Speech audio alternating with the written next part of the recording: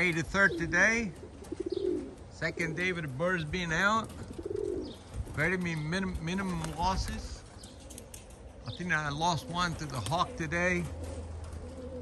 They were all out. And the hawk came in and they dive on him. I don't know if you got any or not, but I'm missing some. And I got some up in the trees and all from, they were, they were afraid. But they're already flying around, no problems at all. I got, I think I got 40 out of 45 and five of them is up in the, up in the air somewhere. I, I, I seen four more flying around. The stupid hawk doesn't leave them alone. Yeah, I got a lot of hawks around here. But so far so good, they're doing great. They've been flying. They uh, they got the zoomies. They're all good. Yep. Yeah, they, they're gonna fly again. They usually go up in the air pretty pretty pretty good. We had uh, I had to lock him down for two three hours so the hawk go away. It looks like he's not here no more. So here they are. They're all out again. And like I say, it's few of them. Here's one. Yeah, they all out.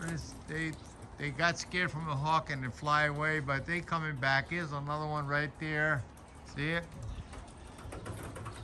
All right, have a great one. That's a good, good, healthy birds. They uh, seems like all that work I did with all the cages sticking out all the way down there. See what I have here. Seems like they like to land on the wood better. So I put a platform in there for them so they can jump up. And I have another platform over here. They're very tame, so I don't like that, but I got a couple of clips coming in today.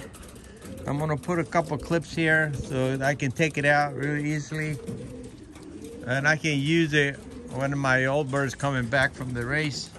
The race was uh, was canceled for this week. I knew it.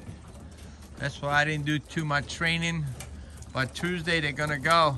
They're gonna go far away Tuesday because that's gonna be the only day we're gonna have opening between the rains to I can get them out. All right, have a great one. So far so good. You know, as always, you're gonna lose some, not much, I hope not much.